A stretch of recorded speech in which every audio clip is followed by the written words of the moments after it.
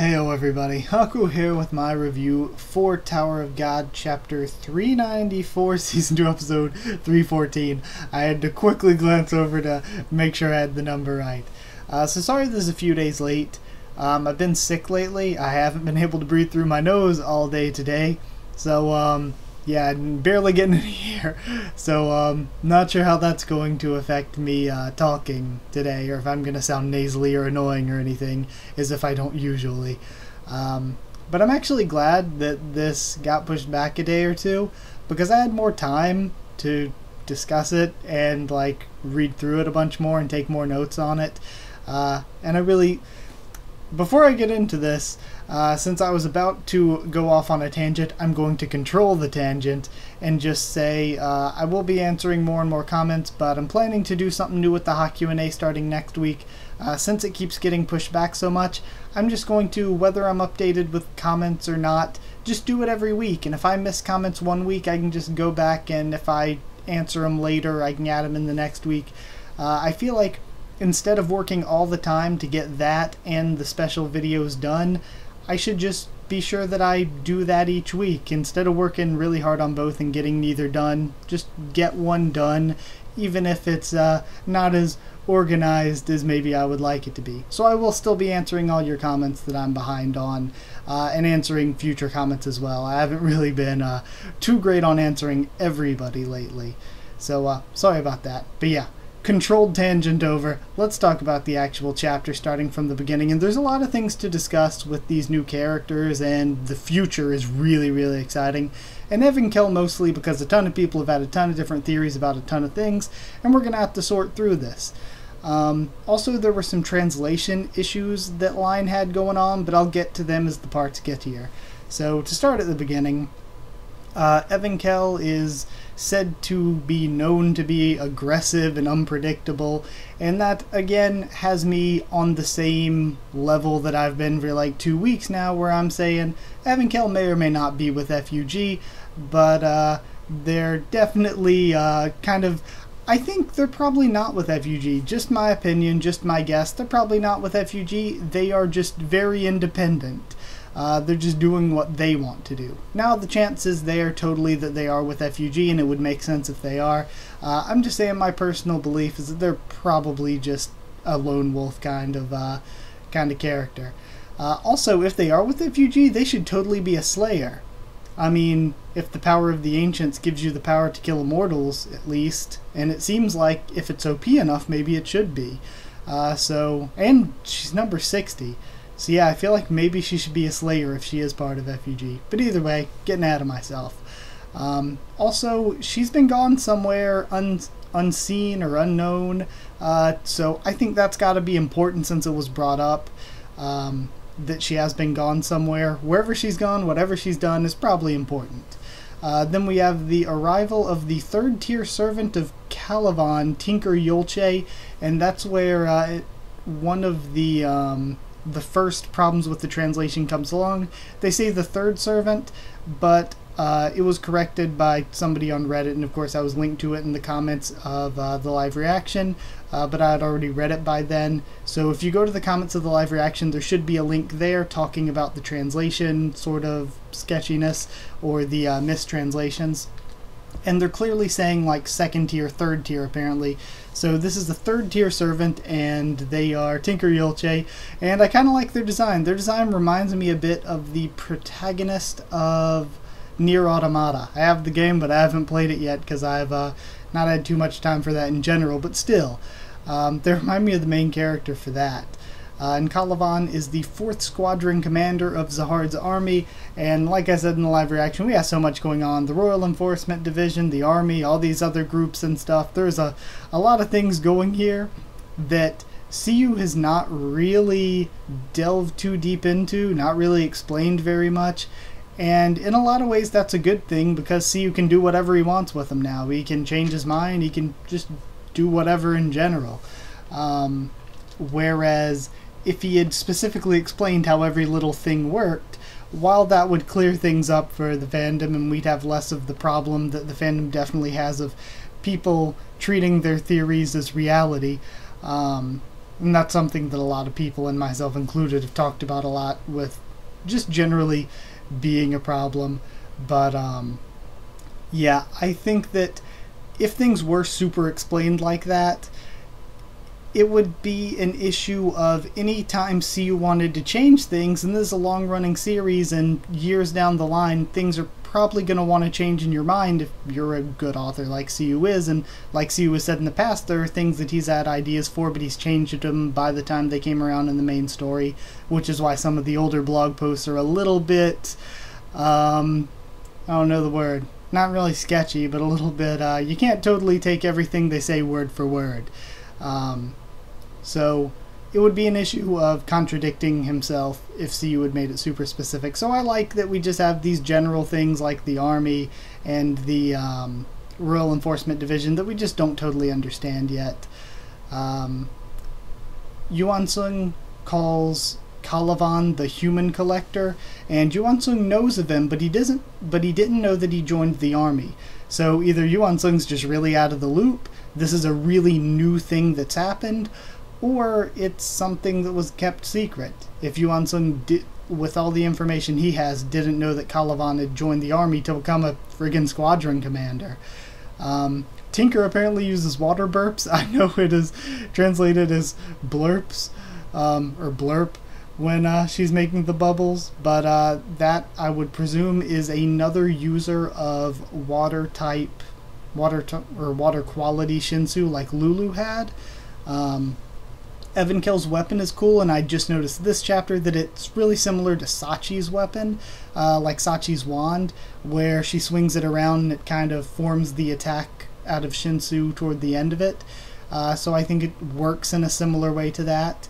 Uh, another servant weirdly jumps in, but they don't do anything and they don't get any introduction. So I thought that was weird that they, well, that one, they were even there to begin with if they weren't going to get an introduction or do anything and two that everybody else got the introduction except for this random character that jumped in. Yeah, I really don't understand what's going on there. It seems like the chapter could have been the same if that random servant didn't jump in, because the one that blocked the Shinsu wasn't the random one that jumped in, but rather it was the high ranker Yolker who was a second tier servant. So what the hell is first tier if a second tier is one of the top thousand people in the tower? Um, so Yolker's design's really cool. I actually like it a lot. They remind me a bit of Varagarv, I said before, uh, but I really like the design actually. Um, and he brings up that Kallavan is at the last station. Evankhell is revealed to have the power of the ancients. Okay, so my theory here. I went up because there was a lot of discussion of, oh, does this mean she's one of the people with both male and female? No. I went up and looked at and looked at all the stuff that we learned about the Power of the Ancients explanation and everything we learned about the explanation of Yura's family. I think Yura's family is a complete separate thing. The only thing that you could say that they have in common is that Yura's family was said to be cursed by Zahard after betraying him, and it was also said that the um, that there was a curse placed on the family of the native ones. So again, it's kind of a stretch, but I feel like if they were super related, then we probably would have learned about the ancient ones and the native ones before we learned about Yura's family, but we learn about Yura's family first. So I think there's a clear difference, and they're probably two separate things. There's a chance that maybe one branch of the native ones' descendants became Yura's family. Um, but I think they're two totally separate things. So I don't think that's the issue with Evankhell. And with the issue of the whole gender thing that people have been bringing up, I said last week that when SIU said, uh, it used to be a guy, but it turned out to be a girl when they showed up in the story, and nothing's right until it shows up in the story, that to me is clearly kind of saying that I had planned for the character to be a guy, but by the time it came around to put the char- character in the story, I had changed it and just decided for them to be female uh, the translation error thing brings up that in this chapter they use both he and she to refer to Evankhell. But the thing is, and I've seen this a bunch of time with a bunch of other characters when there was argument over their gender, is that Korean doesn't really use a ton of gender specific words. So most words they're using don't really like tell either way. And that was another thing that the person brought up when they were talking about the translation errors is that there was no male or female specific word used for Evankhell here. And that's not unusual. It's not like they're do it. It's not like SIU's doing that on purpose. It's just not unusual in Korean to not use a gender specific word for a person. So again, Evankhell I think is clearly a woman. There's a chance they could be from the same family line as Yura, but I really doubt it at this point. We don't. It's just that they could be totally, but I think that jumping to that conclusion, we have no evidence to jump to that conclusion right now. Um, so uh, my theory, actually, though, bring it into that, bring it into what we actually learned about the power of the ancients, is when Edwan was explaining it, there was a giant that split into five beings, and the descendants of the five beings are the native ones. And Rak is a direct descendant, and the power of the native ones, they are said to be able to turn their body into an element or whatever. They have control over the elements, and Rak is pure blood because he isn't just turning his body into the element, but he's fusing the element into his body like he did with the rocks. So that's how Edwan could tell he was a direct descendant. But Edwan was like, most all the direct descendants I've seen were super strong. Why are you so weak? So poor Rak, um, constantly getting owned. My poor alligator. Uh, but another example was Hess was a confirmed example of somebody. Hess could turn his whole body to dirt, and his body was basically made of dirt, and that's because he was like not a pure blood, but just a random partial blood descendant. So right now we don't know the exact details, and again, it's not something we could guess. Um, but my theory is that Evankhell's power is to turn her body into flames, like Hess could turn his body into um, turn his body to dirt, or like Rak can fuse stone into his body and turn his body to stone through that method. So my evidence for this, of course, would just be that when she went to attack, we have those panels and the sound effect was translated as blaze, and it looks like her body itself is actually like becoming fire like or flame like. So I think that she'll be able to turn her body into flames, and that's probably her power. But the thing is, when they said split into five that can control elements, they show five elements they show rock, water, flames, a plant, and some kind of crystal thing. So I guess maybe gemstones or some kind of crystal is their fifth element they're working with here. Um, but they show five elements. So I don't know if that means that the descendants of the native ones can control all five elements if they're the avatar, because that's what I thought at first. Or now rereading the explanation, I don't know if it, if it means that or if it means each of the five of them their descendants can control one. So somewhere down the line, Rak and Hess were related, and they can both control the Earth element, and that would mean that a different branch of that controls flames. And another reason why I would say that I think it's a totally separate thing from um, Yura's family is because of that. Because they said the power specifically is to turn your body into an element or control elements or whatever, and Yura doesn't do any of that. Hwang didn't do any of that, despite being Yura's brother, kind of. Um, and also, we can assume that Akka's part of that group. It's kind of just an assumption, but assuming that Akka's part of that group from the silhouette that we saw and from his kind of malish, kind of femaleish appearance, um, Akka uses heat, but he can't turn his body into fire. So I would say that Yura's family is a totally different thing, a different person that Zahard cursed because he's an asshole just going around cursing everybody.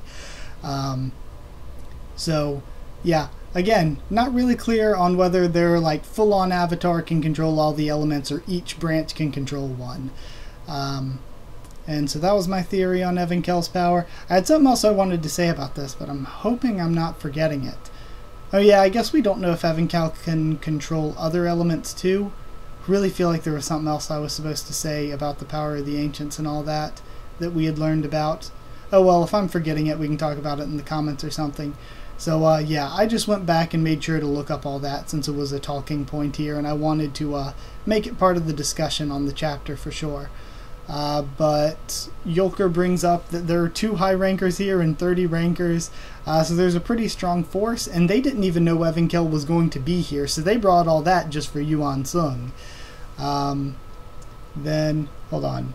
Yeah, okay, never mind.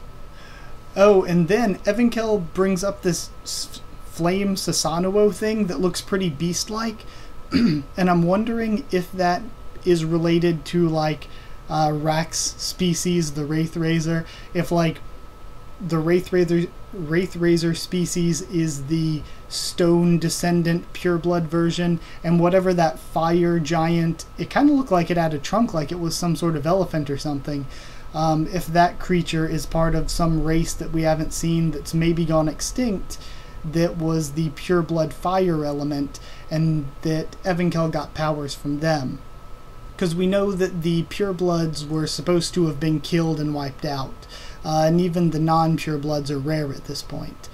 Um, but I remembered what I was going to say. We don't know if Evankhell is actually a descendant of a native one. Uh, probably not pureblood, even if they are.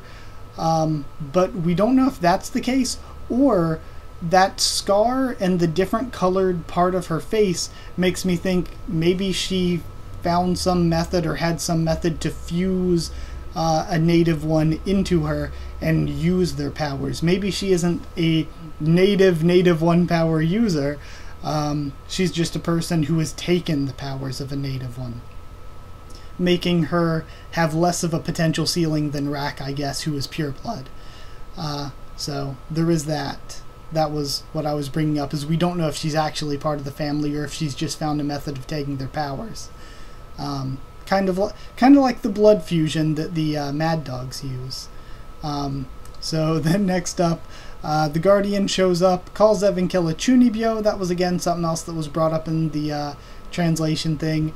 Uh, because we in English don't really have a word for Chunibyo, and since not not everyone who reads Tower of God and watches the videos is probably a we an anime weeb as myself, um, Chunibyo is kind of like the direct translation would be like Chu is in Chugakse or middle school, and uh, Ni is in Ninense or second year. So and Bio is disease, so it's like um, so it would be kind of like middle of middle school disease, and it refers to kind of when you're like an edgy teenager that thinks you're so cool and maybe you have special powers or something, and you dr- dress and act all weird to seem bigger than you are, and then you get older and you're like, oh, it was so embarrassing and cringy how I was when I was in middle school.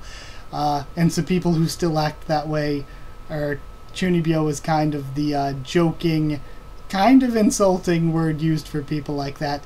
And the closest I would think, if I were to have to use an English term for it, the closest thing I think we would have to that in English is probably edge lord, where people are just into all this edgy middle school humor stuff and then you get older and you're like oh man i was such an idiot so i think edge lord might be the closest thing we have to, in english to chunibyo so basically Evankhell's just like, I'm gonna use this big old flaming Susanoo thing to destroy all of you, and the Guardian shows up and says, Calm down, Edge Lord.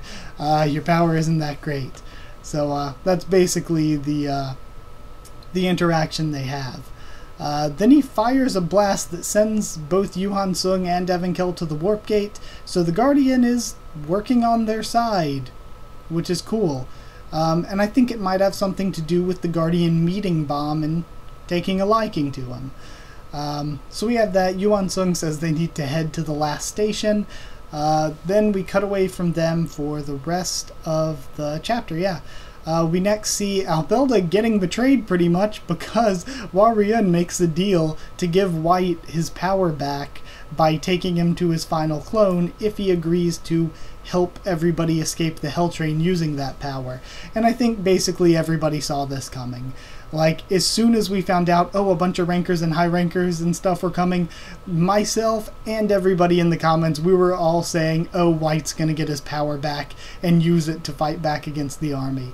So I feel like a lot of us saw this coming. Um, again, that's not a bad thing, but uh, yeah, it's kind of predictable. Um, then uh, Rachel reveals that she knew Arlen to bomb and then leaves, which is just this horrible dick move that is amazing. It is so villainous and great. Um, God, it is it is hilariously villainous.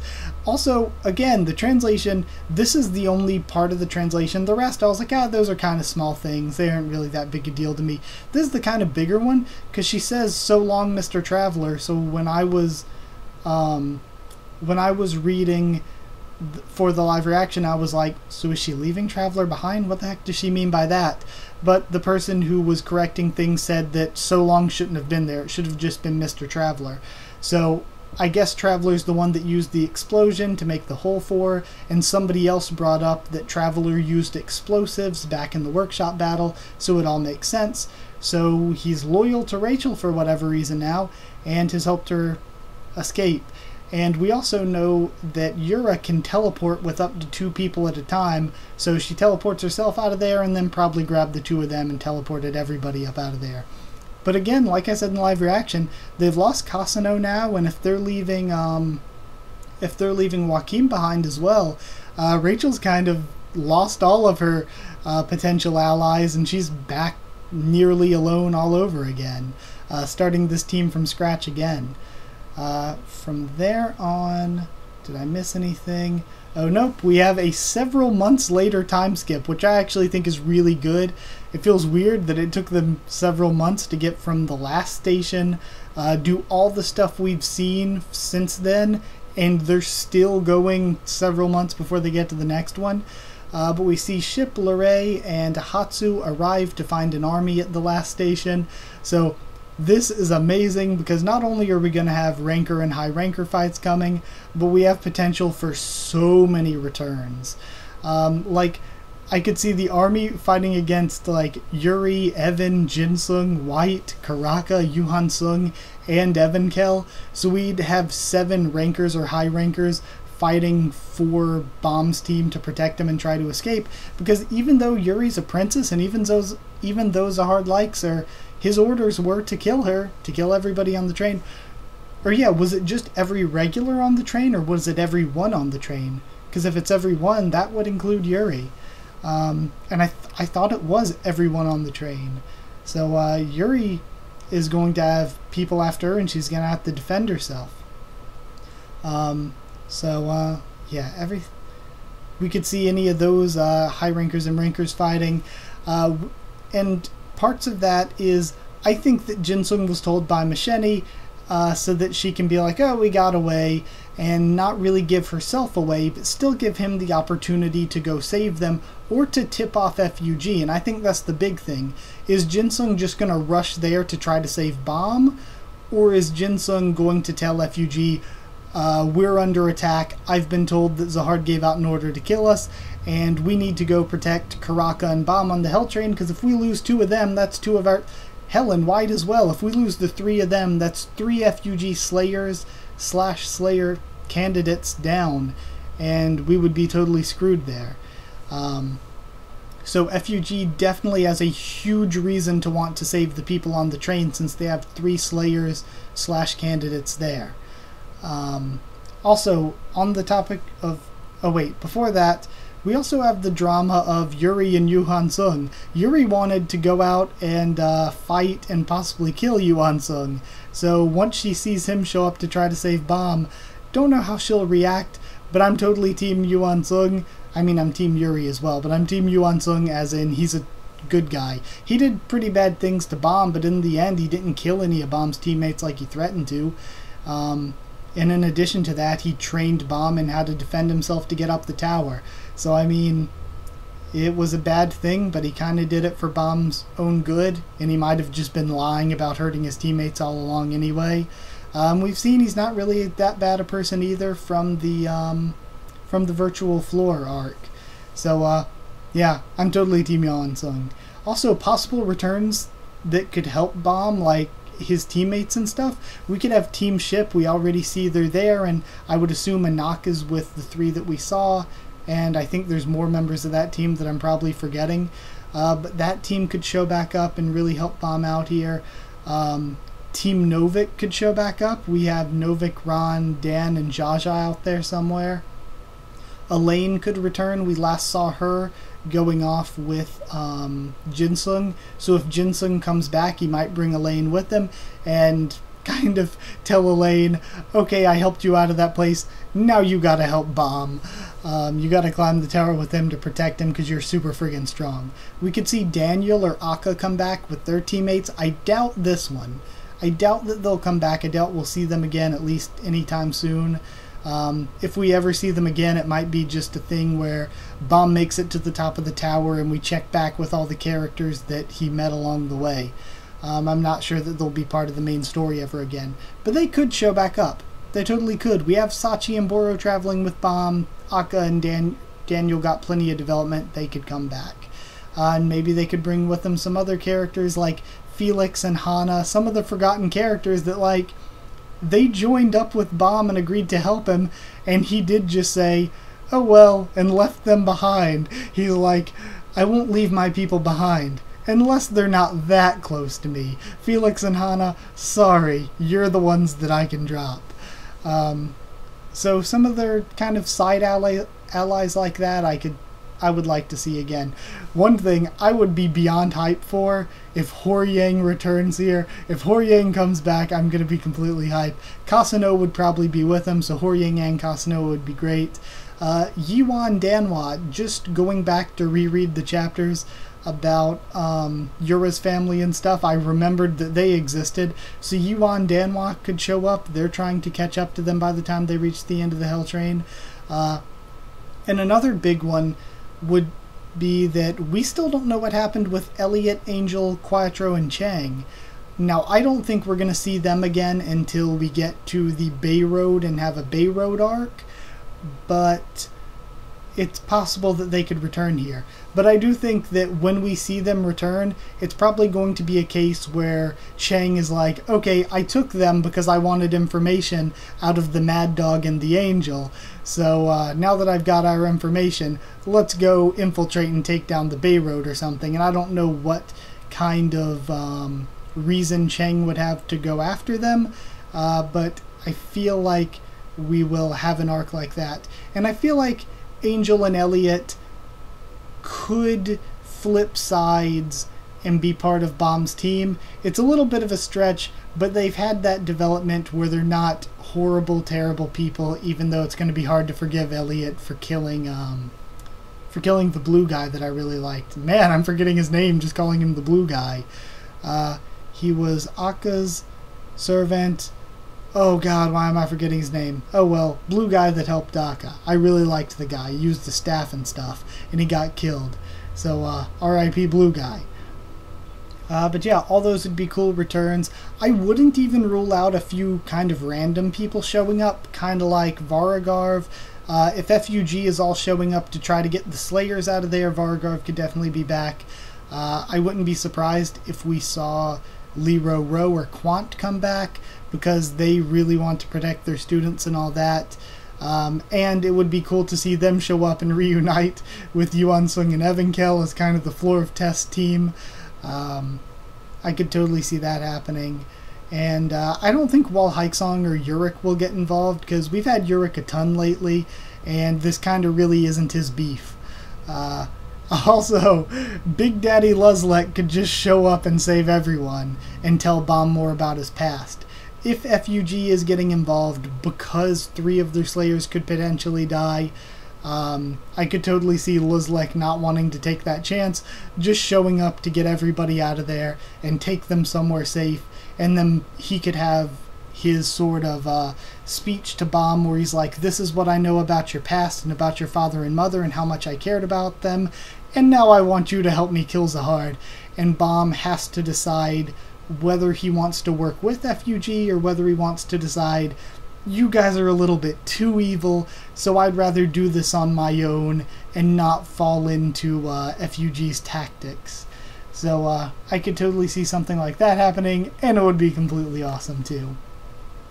Uh, and for blog information, Siu says that it feels like a section's ended and a new section is coming, uh, and that kind of goes into what I said I've been thinking anyway, where it feels like we're going towards the end of Hell Train and we're going to be getting into the next one. Since the since the series is kind of separated into Volume 1, then Return of the Prince, and then Workshop Battle, and then the Hell Train, each of them with pretty big time skips between them. Once we get to the end of the Hell Train, don't know if we'll be getting a big time skip or not, but there's definitely going to be a big shift from that over into the next part after Hell Train. Um, but kind of something else with that. Uh, I don't know, trying to find my wording here. But kind of something else with that is that I don't know what kind of uh, hiatus SIU might take because of that. If it's another five month one, that is going to be a bit of a crazy time. It's going to be a bit of a hard time waiting. I remember it was hella hard waiting that super long, like five month break that SIU took between uh, Workshop Battle and Hell Train. Um, so, uh, yeah, then uh, SIU also hypes up Kallavan in the blog as like the the next big antagonist on a large scale, and it's not really going to be a Bam antagonist, at least not anytime soon. Uh, but it's going to be kind of a high ranker versus high ranker type antagonist, like like he said, a large scale one. Um, he also mentions burning and Rak's reveal when talking about Evankhell, again, sort of reinforcing that Evankhell either is a relative of the native ones, whether pure blood or not pure blood. Uh, probably not pure blood because they don't look bestial like Rack, but we don't really know that all of the ancient ones looked like that. So, uh, or all of the native ones looked like that. Or if Evankhell just took the power. But like I said, I think the power is going to be able to uh, turn to flames and use flames in the same way that Rak can turn to rock. Um, then, uh, anything else? Oh yeah, in the blog, he says that something he would like to draw sometimes sometime in the future, but he can't because he's focusing on the actual main story, is that the floor of test was really hellish under Evankhell until Evankhell handed things over to Yu Han Sung, and Yu Han Sung turned it into a proper operation. So uh, again, that would be cool to see in the future. Uh, so yeah, thoughts as a whole, that's all over. I did think it was an amazing chapter. A ton of things happened, and I loved the new characters and the crazy setup. There was so much discussion. I knew this uh, review was going to take a long time because of how much discussion there'd have to be. Uh, just because reacting to it and reading it took me a good 20 minutes. Um, so yeah, that's it. It was a great, amazing long chapter, and I would give it. I struggled with whether to give it a perfect score or not, but I'll give it just below perfect to try to reserve and save perfect scores for something really special. Um, so I'm going to give it 9.75. Uh, random time jumps out of 10? It's not necessarily that random, but I certainly wasn't expecting us to take a several month time jump. Uh, so yeah, 9.75 out of 10. I hope you enjoyed the video. Like if you did like the video, comment down there to tell me what you thought of this chapter and what you thought of my thoughts on it. Uh, subscribe for more. Tower of God much more on the channel. Follow on Twitter if you want. I can try to keep you updated there and stuff for the channel. And um, I guess if uh, you want a link to our Discord server to talk to me or more of us on Discord, just ask and I'll give you a link to that. So that's it. Thank you once again for watching, and I'll see you all next time.